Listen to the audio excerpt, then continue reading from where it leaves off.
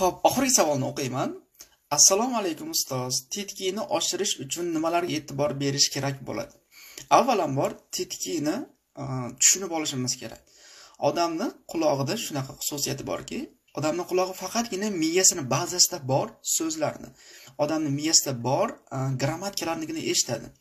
Misol uchun sizga e, xitoy tilidan titki qo'yib beriladigan bo'lsa, siz birorta so'zni eslab qola olmaysiz.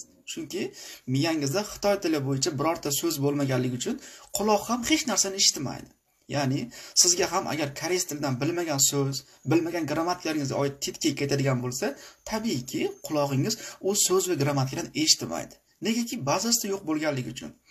Shuning uchun titkini oshirish uchun birinchi o'rinda so'z bilan grammatika boyliklaringizni mukammal shaklga keltirishga harakat qilish kerak.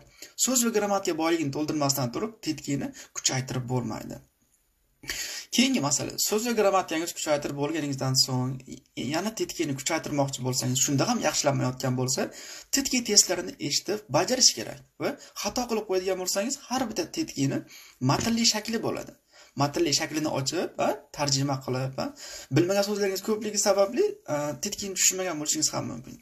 Matnli qismini tarjima qilib chiqqandan so'ng keyin yana bitta qayta eshitsangiz, qulog'ingiz asta-asta endi tarkibdagi so'zlarni bilganligi uchun eshitishni boshlaydi. Va sizda shu jarayonda bora bora e, tetkiy qobiliyatingiz o'sib rivojlanib boradi. Takrorlayman. Tetkini o'stirish uchun avvalambor so'z va grammatika boyliklaringizni mukammal shaklga keltirish kerak.